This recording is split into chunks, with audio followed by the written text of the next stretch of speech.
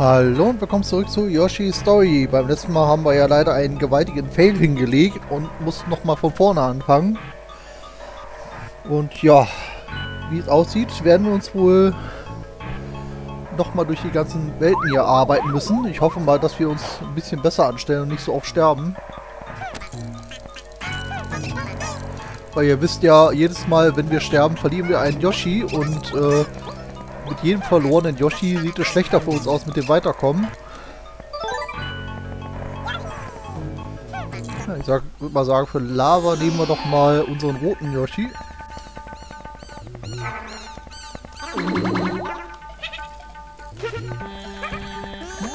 Knochendrache. Er ist extrem gefährlich und sehr brutal. Die Stampfattacke mag er überhaupt nicht.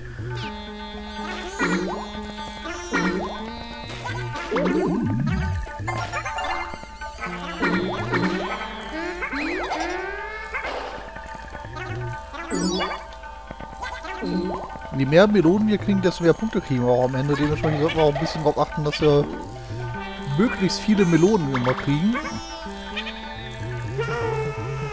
Ich jetzt natürlich erstmal wieder ein bisschen an, das Steuer, äh, an die Steuerung gewöhnen.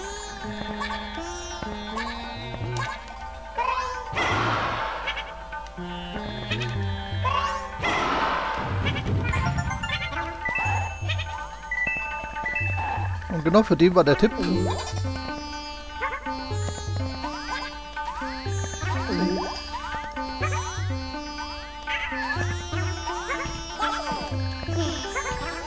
Okay, hier ist weiter nichts. Hier wird es ja schon reichen, wenn wir einmal einen Durchgang komplett hinkriegen.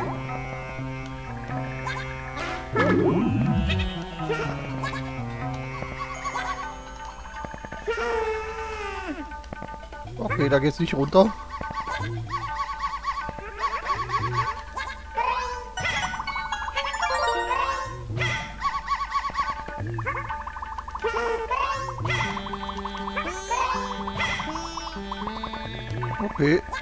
War wohl alles.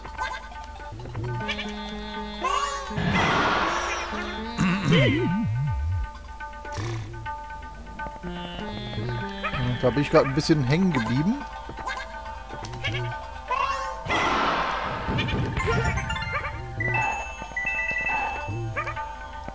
Da war noch gerade so ein, ja, Schmetterling oder was auch da war.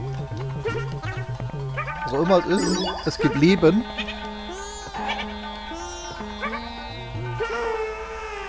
Oh, da oben ist was. Da wollen wir hin. Ja. Ach, der springt überhaupt nicht manchmal.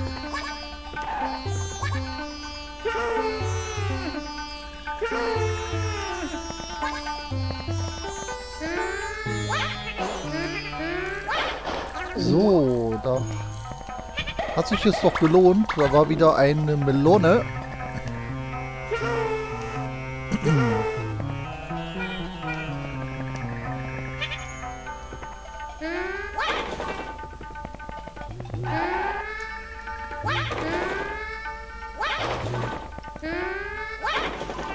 Hätte sein können, dass wir da noch irgendwie einen kleinen Bonus kriegen oder so.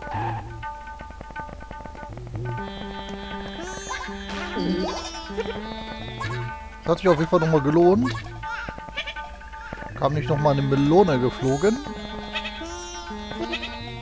Äh, ihr fragt euch garantiert, warum ich zurückrenne. Ich möchte nach Möglichkeit nochmal alle Eier aufladen, weil wir jetzt gerade ziemlich viele verschossen haben.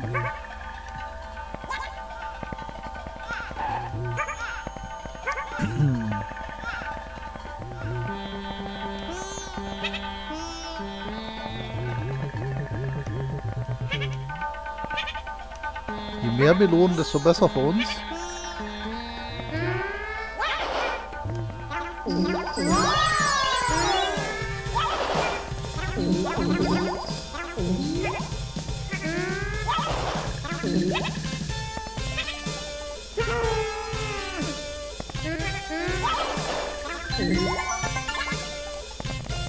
Nochmal eine Melone.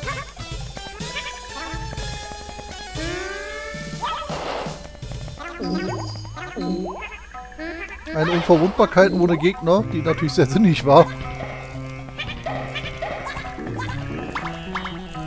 Oder waren wir so schnell durch, dass wir irgendwas übersehen haben?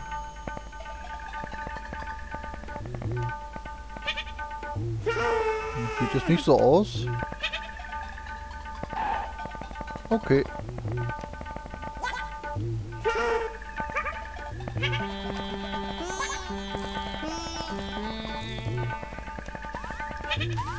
Da haben wir auch schon den nächsten Checkpoint.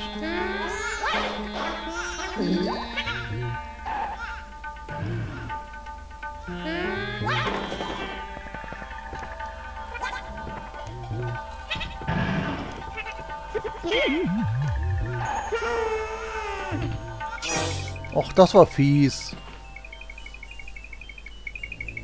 Das war richtig fies. Wir wurden von den Treffer so weit zurückgeworfen, dass wir unten drunter gelandet sind. Und leider einen Yoshi verloren haben dadurch. Und das in der zweiten Welt schon. Sehr ärgerlich ist. Blöd ist natürlich auch, wir haben kein Leben.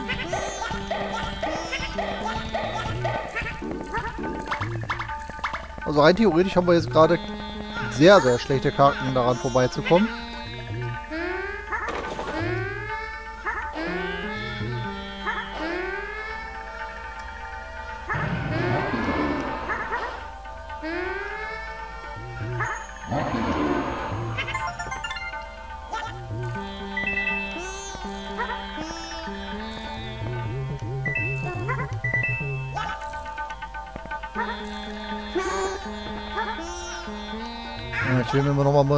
Munition holen.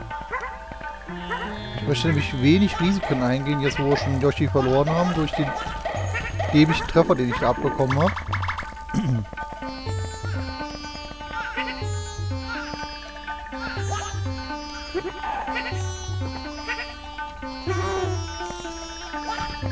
Ah, die Vase, sie ist nicht fern und doch nicht da. Finden Sie und schlüpfen hinein.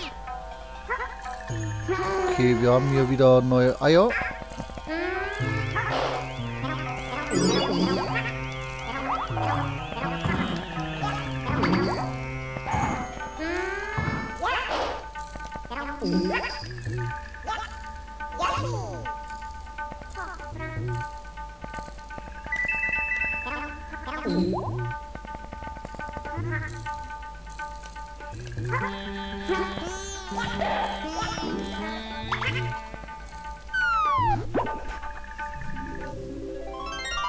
Bonus.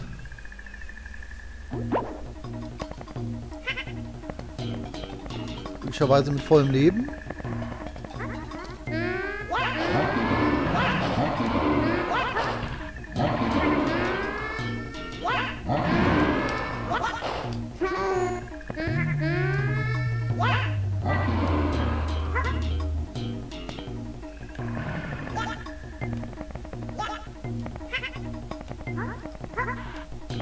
Munition.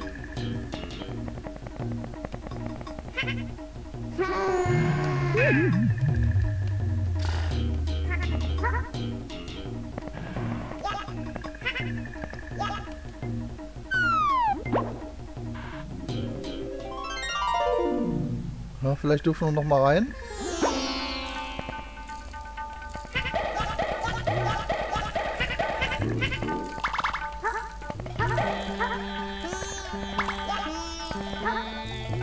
Blöd, dass die Eier gerade äh, untergefallen sind. Okay, wir dürfen noch mal rein. Weiß nicht, ob wir die alle wieder killen müssen.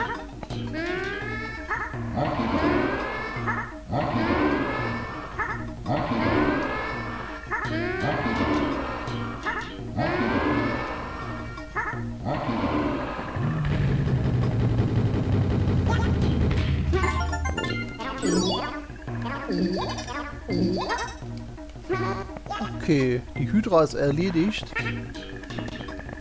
Wir durften sogar tatsächlich noch mal ran.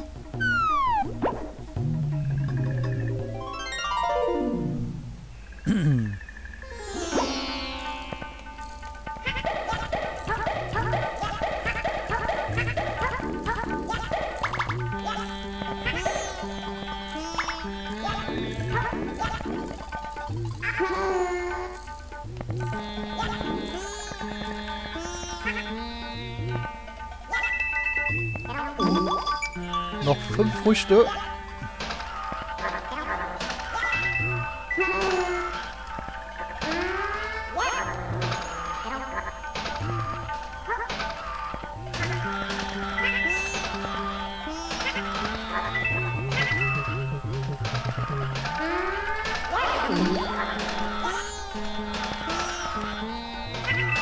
Unser guter Yoshi knurrte an, aber leider können wir nicht viel machen, weil unverwundbar. Und draufspringen wäre eine dumme Idee. Die haben nämlich da so einen ganz kleinen Stachel auf dem Kopf.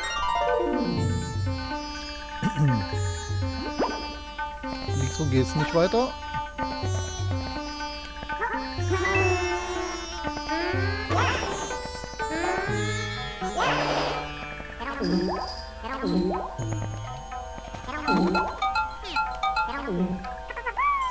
Geschafft. Und dieses Mal sehr viele Melonen.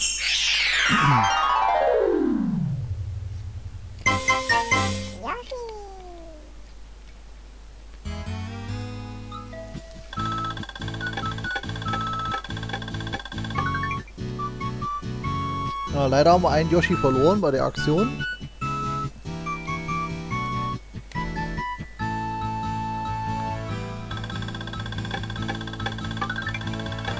Kapitel 1 haben wir tatsächlich sogar mehr Melonen gehabt.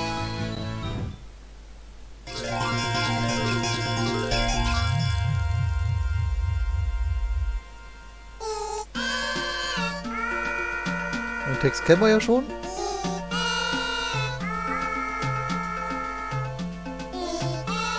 Zögern würde bedeuten, gefressen zu werden.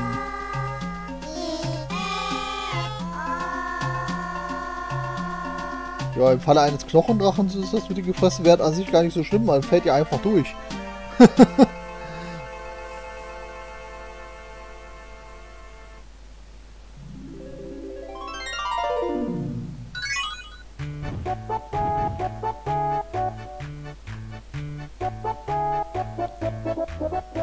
die Himmelstour.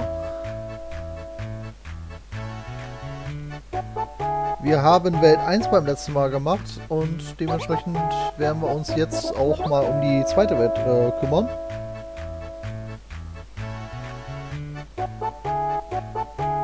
Ich bin mal gespannt, wie wir äh, da zurechtkommen, weil die kennen wir nämlich auch noch nicht.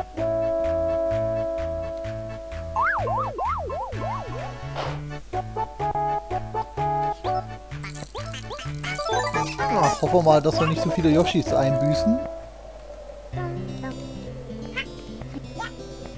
Okay.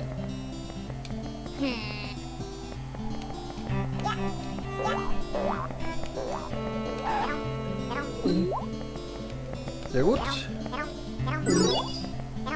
Na gut, hier hätten wir uns noch aufladen können.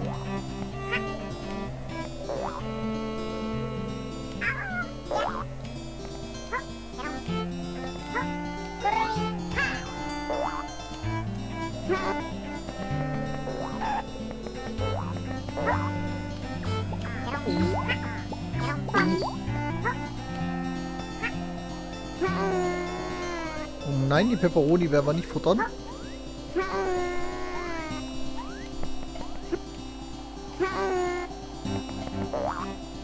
Ich glaube tatsächlich... Ne, hier kommen wir sonst nirgendwo hin.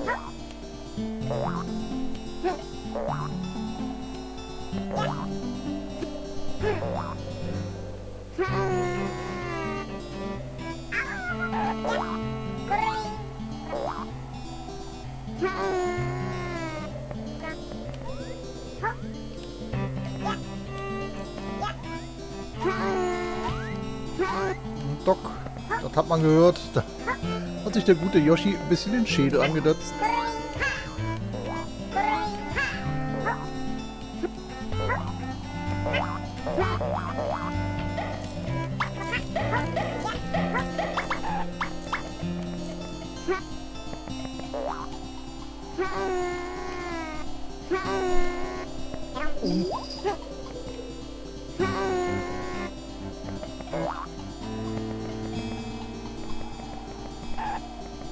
Ist noch ein bisschen riskant, weil man nicht vor, äh, vorab sieht, äh, wo man hin kann.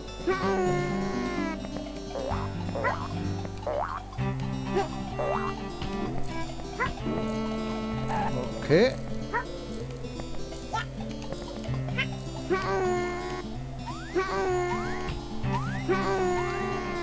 Ah, okay.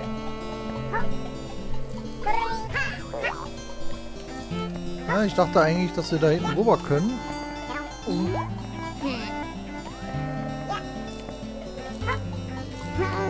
Muss ich natürlich auch ein bisschen orientieren in einer Welt, die man noch nicht kennt.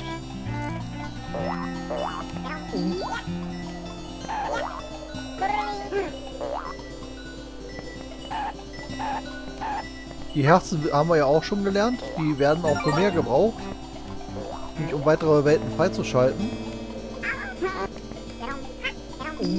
In jeder Welt sollte es drei Stück davon geben.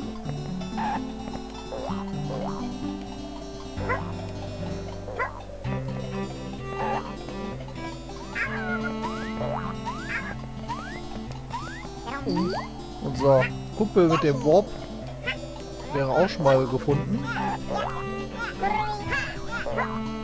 Momentan haben wir vieles an Früchte, aber leider sehr, sehr, sehr wenig an äh, Melonas.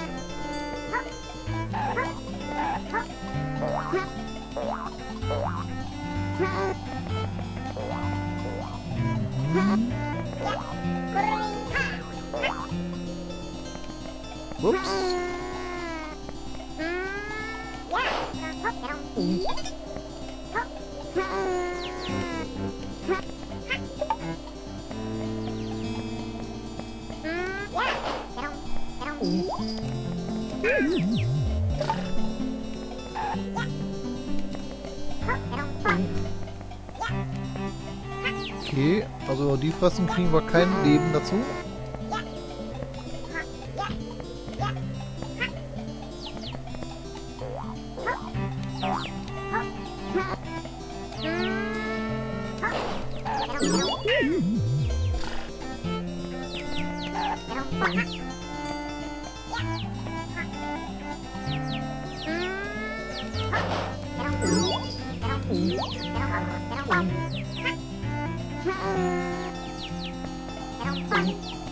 Ja, die sehen auch allgemein gar nicht so richtig, weil wir, äh, so wie ich sehe, kriegen wir dafür auch gar keine äh, richtigen Punkte.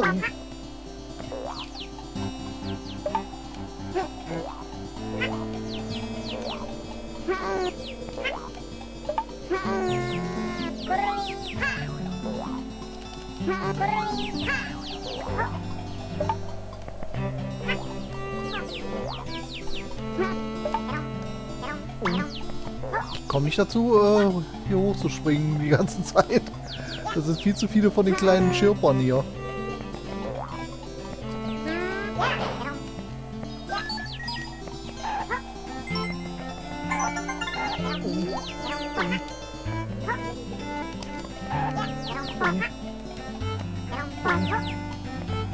Viel zu viele von denen.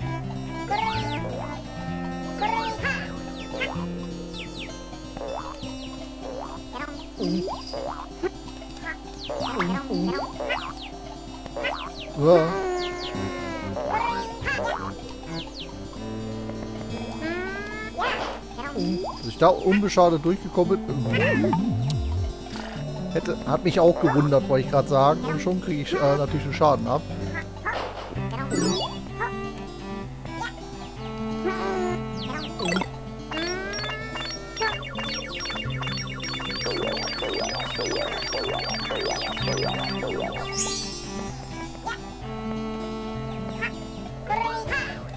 Okay, ich sehe schon, da sind jede Menge Melonas und alles.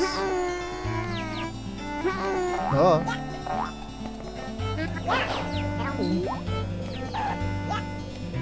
Nein! Wieso macht er da so komischen Sprung?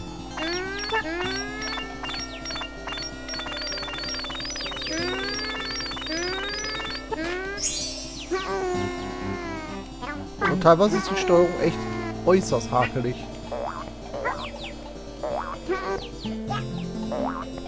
Oh. Mann.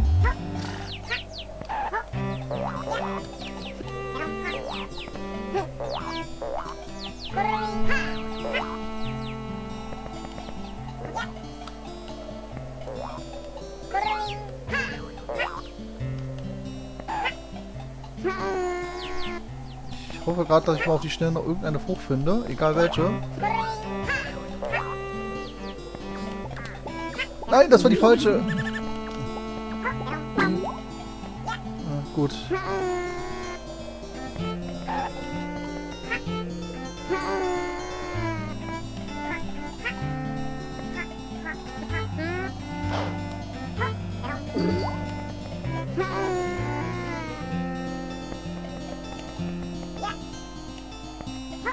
Okay, da ist der Ausgang.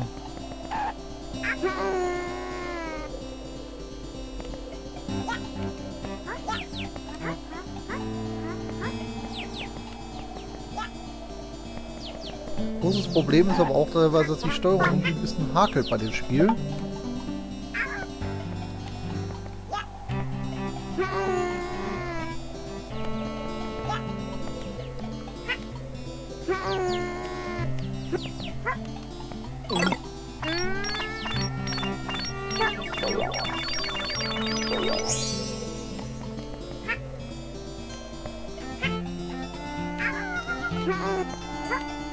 Ah,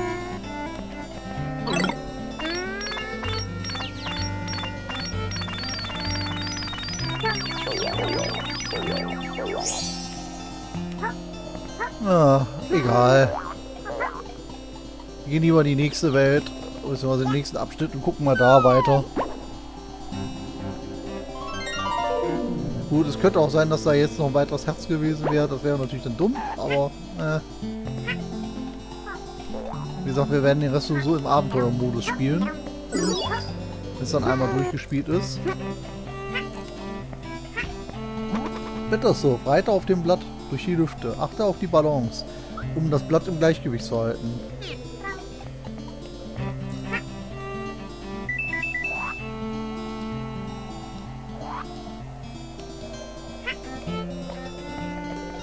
Ja.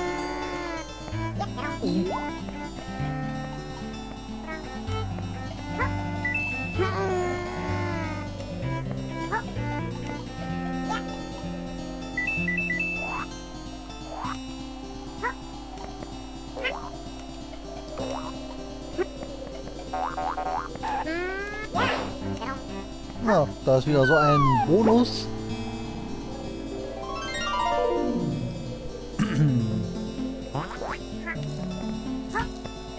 Melone ja. Ramme den äh, Fragezeichenblock, berühre die Startfahne. Das Rennen beginnt bald, ich gewinne viele Melonen.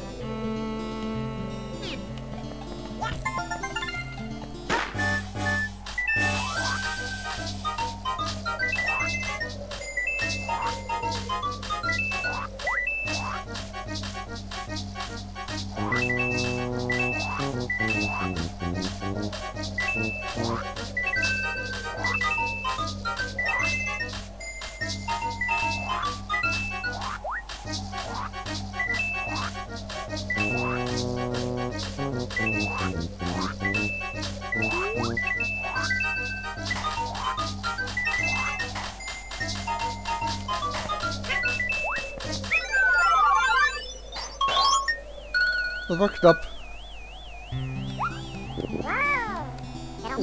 Ich habe nicht damit gerechnet, dass er automatisch abspringt.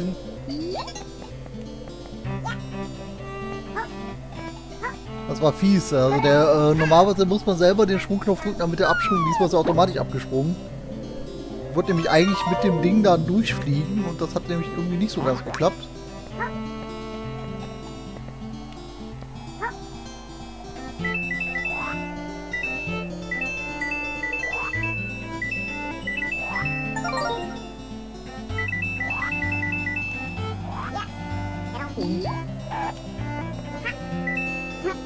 Können wir noch holen.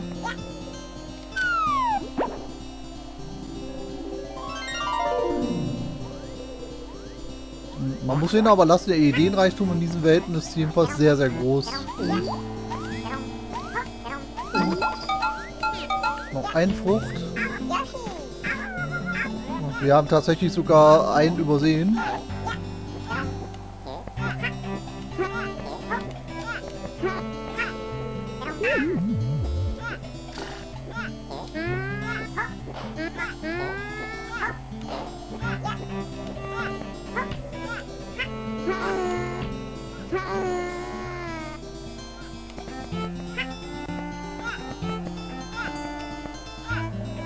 Wollte ich doch gar nicht.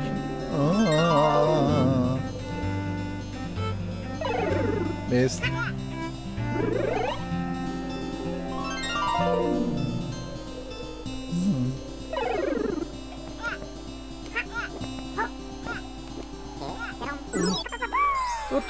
Wir haben die nächste Melone.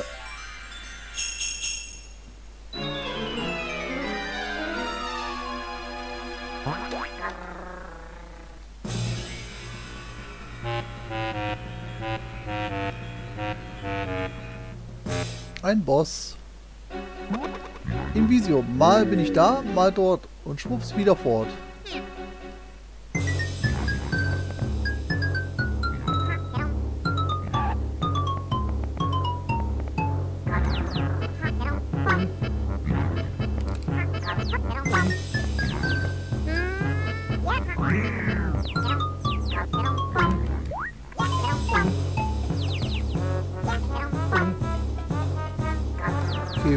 Bisschen darauf achten, wie sich der Hintergrund verändert.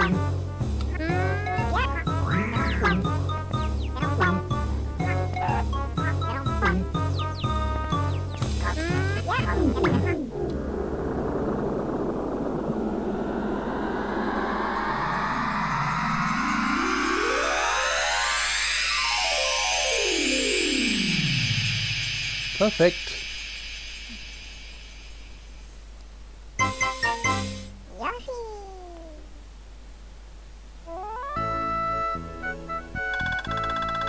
Das lief doch gar nicht mal so schlecht. Eine recht knifflige Welt, muss ich sagen. Aber interessant gestaltet auch. Die Ideen haben mir auch sehr gefallen, muss ich sagen.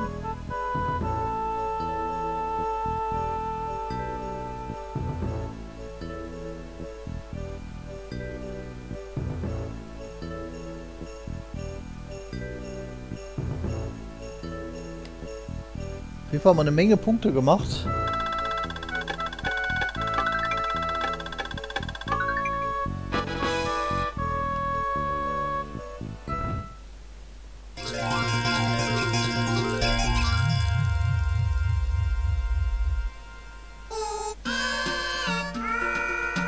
Auf ihrer Suche nach dem Glück erreichten die Yoshis einen Turm. Der steile Aufstieg war sehr anstrengend. Am Ende wartete Visio.